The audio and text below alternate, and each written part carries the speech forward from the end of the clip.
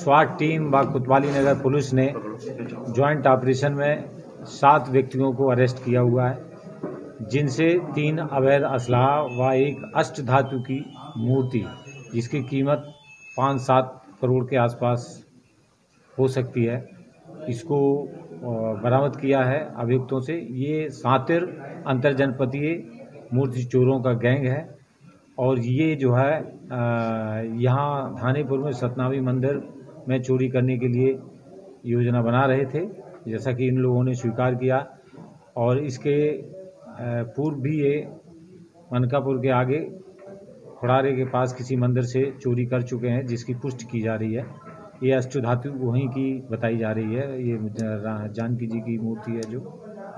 और इनका सिद्धार्थ नगर के वर्णी क्षेत्र का राम जानकी मंदिर और कर्नलगंज में संतोषी माता मंदिर था। ये भी इनके प्लानिंग में था कि जिससे ये मूर्तियाँ चुराते ये बहुत ही सातर अंतर जनपदीय मूर्ति चोरों का गैंग है।